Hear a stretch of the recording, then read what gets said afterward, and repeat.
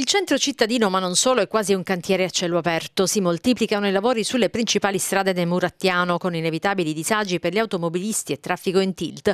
È uno degli effetti del PNRR. Al momento sono in corso principalmente i lavori delle aziende dei sottoservizi. Solo hai distribuzione a cinque cantieri in corso, tra questi uno in via Andrea da Bari con restringimento della carreggiata e traffico alternato e uno in via Nicolò dell'Arca dove stanno per iniziare anche i lavori da parte di Rete Gas. Stanno avendo grossi finanziamenti nell'ambito del PNRR PNRR e stanno quindi approfittando per ehm, rifare in alcuni casi o eh, migliorare tutte quante le reti che hanno nella città di Bari.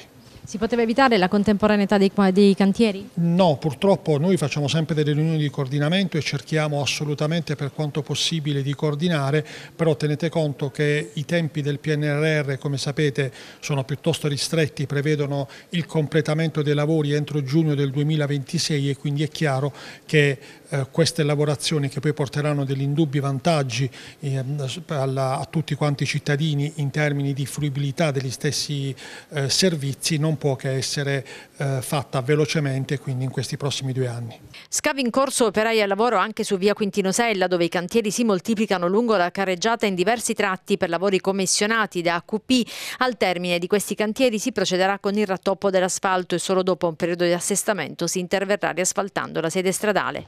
Eh, tutti quanti queste autorizzazioni prevedono il rifacimento totale e complessivo dell'intera carreggiata stradale. A breve inizieremo per esempio nella prima settimana di ottobre con il rifacimento dei primi isolati di Via Dante a partire da Via Brigata Regina dove interverranno in parte la società Amgas e in parte praticamente la società AQP che hanno rifatto totalmente le loro reti.